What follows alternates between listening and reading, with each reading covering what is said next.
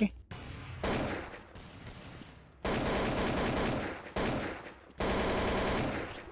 Ah, tá, tá. Falou, velho. Uma horinha de jogo você tá jogando assim. Você é bonzão mesmo, hein?